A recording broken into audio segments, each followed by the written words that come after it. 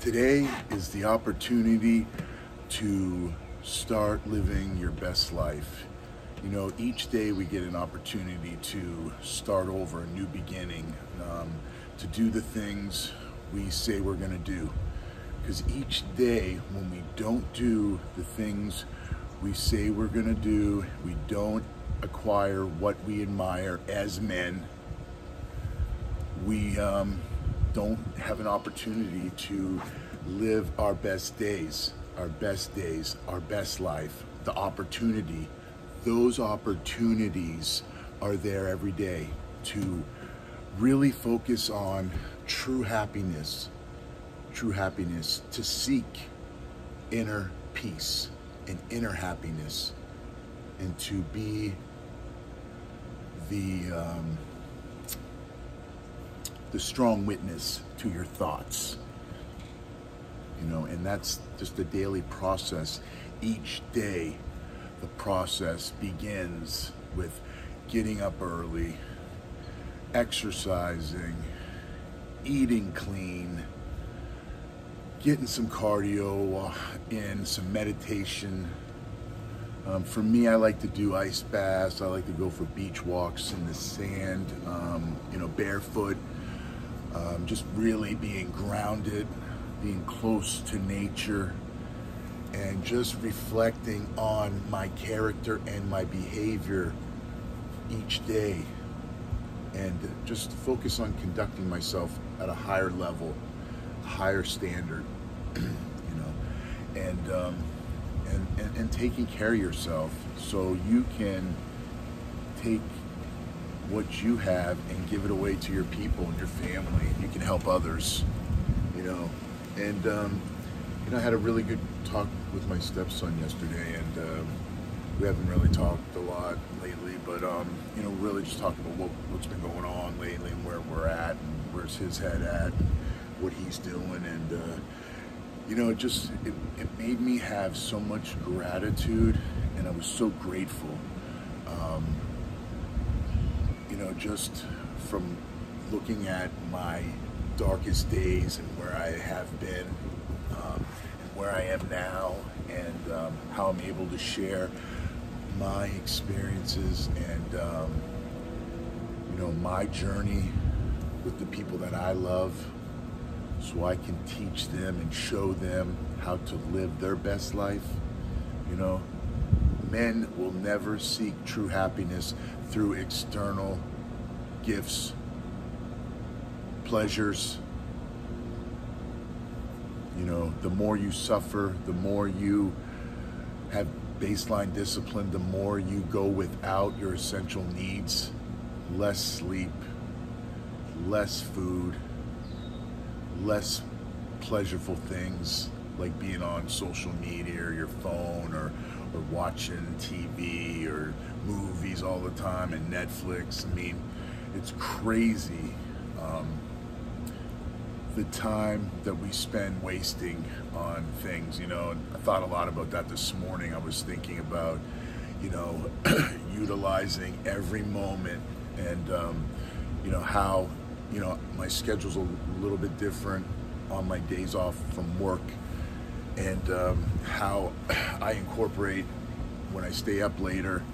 Am I really doing productive things? Am I really bettering myself? Am I bettering my family? Am I, you know, doing the things I need to be doing?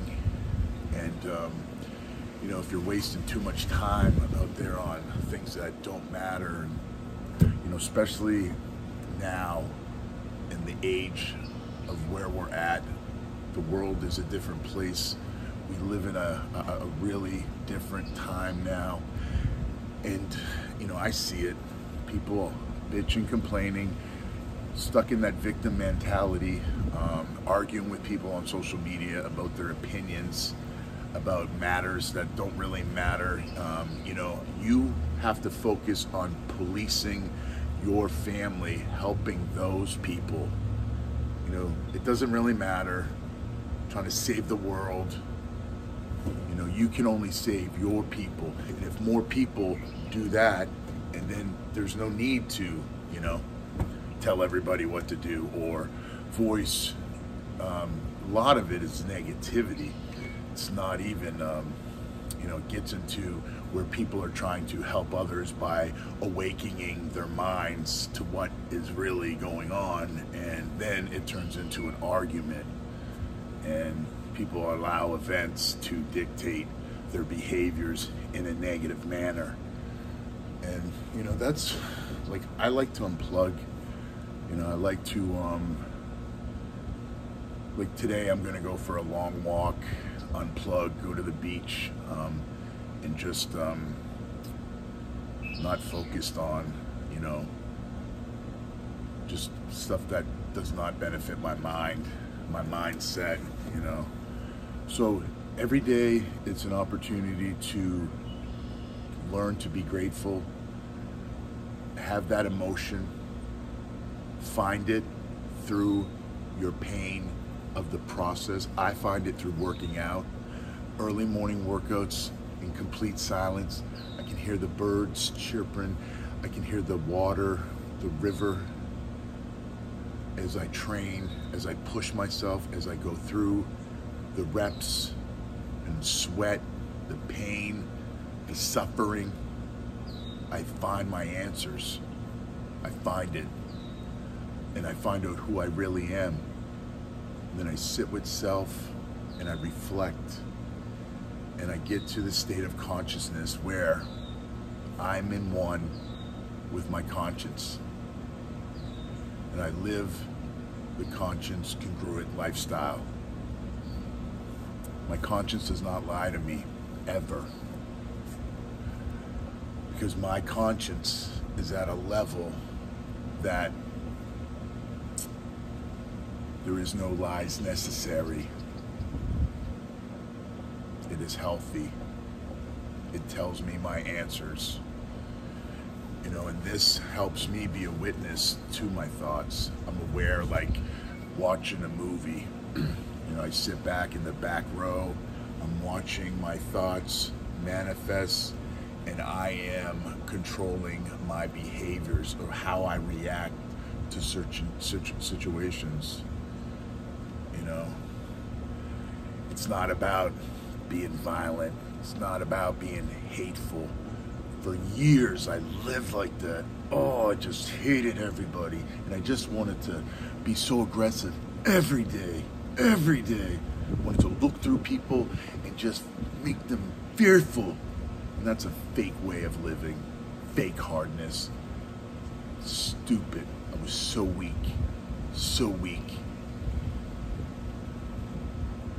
You know, the journey has taken me now to realizing that it's all about what you can do and serve others. Be kind. Invest in yourself so you can be the best version of yourself and you can help so many other people, so many, because the energy you give off, the, the feeling you have is because you admire what you're doing each day. You know, as soon as that thought goes in my head that I need to do something, I do it. I do it now. I don't wait. I used to be such a procrastinator. I used to always say, oh, I'll just do it in an hour. I'll do this later. As soon as that thought comes in my mind, I'm like, uh, I need to do this. Boom, it's done. It's done. And then there's no anxiety, no worriedness, no, you know, second guessing myself. You know, because always that voice. If I don't work out, if I don't eat clean, I have those regrets, those regrets. And instead of being, um, letting your uh, regrets make you feel depressed or, or you're beating yourself up with negative self-talk, you take those regrets as guidelines. They are gifts, they are hookups from God, from the universe to live a better life and live your best life. Regrets are that guideline. There's people that say, I, I don't regret anything. It's such, it's bullshit. It's so funny. Because you take those regrets and you learn from them. You learn from those regrets. You don't, you don't, you don't feel good. You don't live your best life when you're living regrets, when you have regrets, you're not doing the things you say you're going to do. You know? And we are our own worst enemies. I'm my own worst enemy. I can only speak for myself as a man. And um, I have to get out of my own way each day, each day. Focus on all the purpose, purpose driven lifestyle. Focus on helping others and being the best version of myself, training, eating, and just getting up and doing the things I say I'm going to do. And when, when I think they're hard, that's when I need to work harder. Embrace the hard times and just focus on bettering yourself each day through your daily process. Get after it today